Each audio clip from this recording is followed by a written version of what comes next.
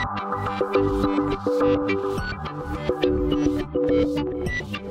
and welcome to my playhouse. And today I'm at work and um, I have a couple of small tasks that I think it would be okay to share with you. I have some memory that has um, two servers, HP servers, that has uh, wasted each memory block. So we're gonna be exchanging a memory block in at least one server. I might do both of them, but um, I'm gonna start with one of them. And this is a rather big server.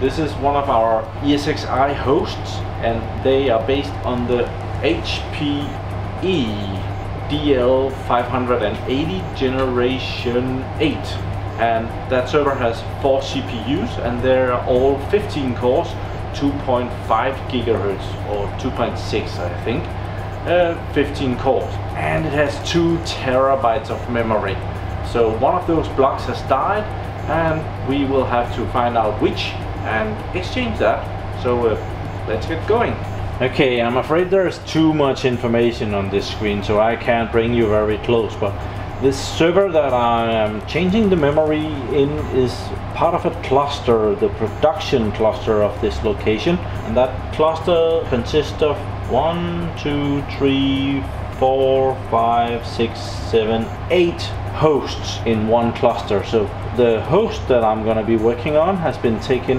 out of the cluster and put into maintenance, which is part of the redundancy that we can do that. We can take out one host and upgrade that. We can also take out one more host but then it's really starting to be dangerous then the resources will be sparsome. I have been over here checking for the memory I'll just minimize that.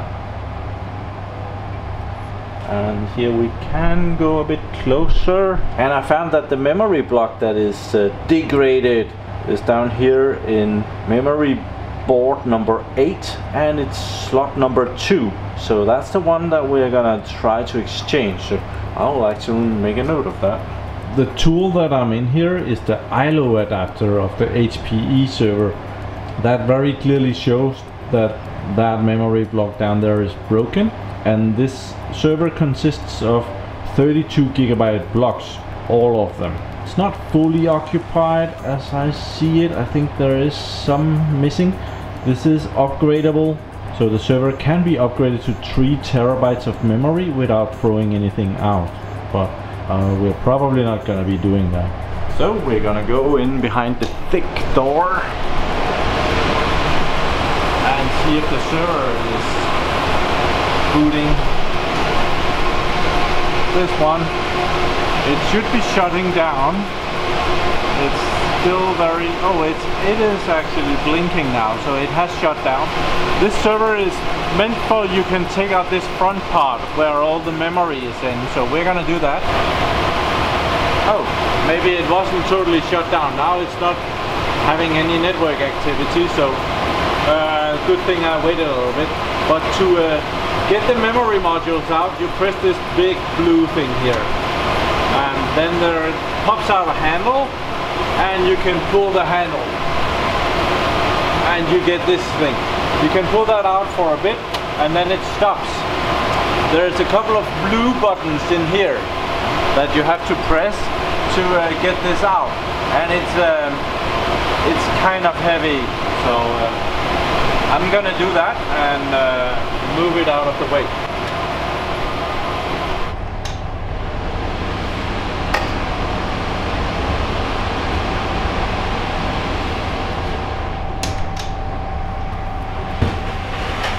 So here is the box that contains the CPU and all the RAM of this uh, server. And it's very hard to get this plate off the first time.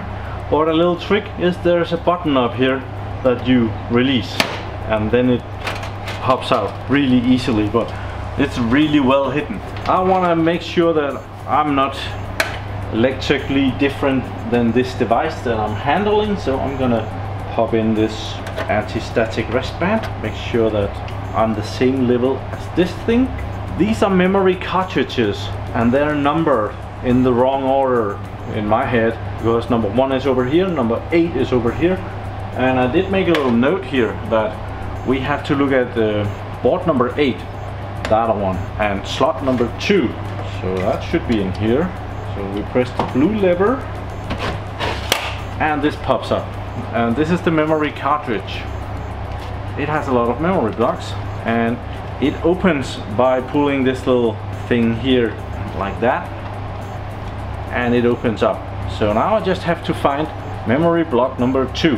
Also has a battery function so we should be able to press this button and see which memory block is bad. And it blinks up there. That's the one that we have to be worried about. So we're gonna take that one out and exchange with the new one. That, and hopefully they are alike. I'm pretty sure they are. They look very similar. So press the button again, make sure we are taking out the right one, this one. We will put that there.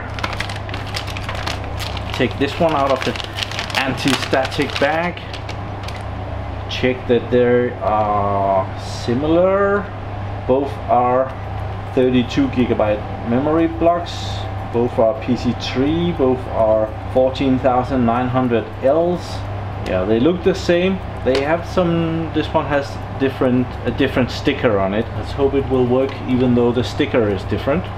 And it has a marker mark. So we'll put that in. Put this one back in the anti-static bag here. Get that out of the way so I don't confuse it. And put this back again. There.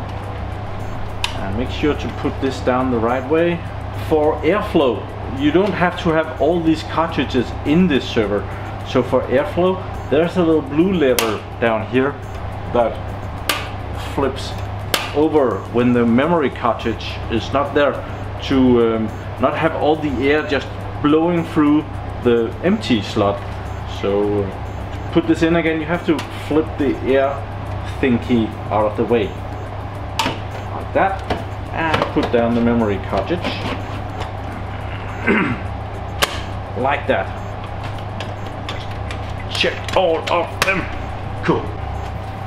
Put this one back on.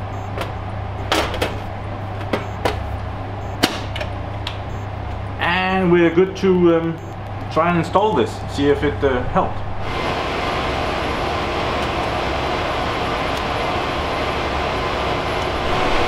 This server also has like a pop-out thing here.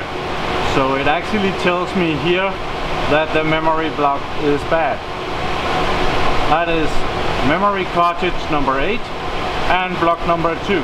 So uh, this is kind of awesome, right? Put that back in. Okay, I've connected some wires to it here so that I can use the screen that I've put up down here. So let's power this beast on again. There. And it takes a while booting. Here it is, it's at 30% um, you can take this for anything. Uh, those percent is not meaningful. Um, they don't represent the time very well. I'm guessing that it's only like 5% booted or something like that. When it gets up about 66, 70%, that's when, uh, when we'll know if the memory was any good. Okay, it has uh, initialized the memory and completed that. It has uh, HP Smart Memory initialization, so that is also running. It has not told me about any bad memory blocks yet. It will probably switch the screen here in just a second or two, and that would show any bad memory. There we go, it switched the screen. Uh, we have the CPUs here. Oh, 2.5 gigahertz, lied. Sorry about that. Uh, detecting.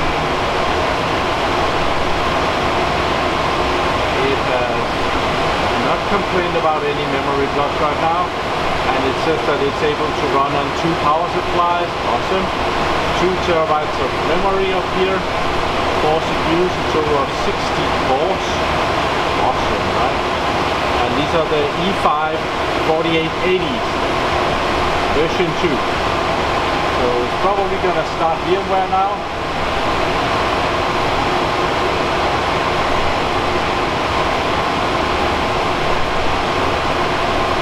Yeah, booting VMware. Okay, it also found the 2 terabytes of memory inside of VMware. So when it does that, it usually works. Inside the ILO adapter, also the memory cartridge number 8, slot number 2 is all good again. Let's hope um, this lasts.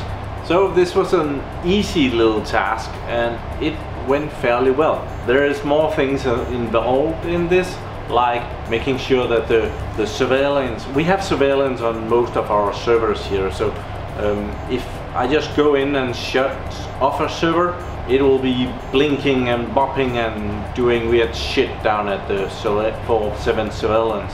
Yeah, they would get really pissed at me. They have to know that this server is up and running again in just a little bit. We want to see it running for a little bit of time before we put it back into production, but then it will be good again. Uh, the memory blocks that I got was from HPE, the, the support on the server. They are still under warranty um, and they just send the memory blocks and we have to return the broken memory blocks. That's as it usually is. They do want to make sure that the stuff we say is wrong is also wrong. So we have to return the bad ones. So, well, I do hope you enjoyed this video. Thank you for watching my videos. Do subscribe to my channel so that you can see me again and have a really nice day. Bye bye.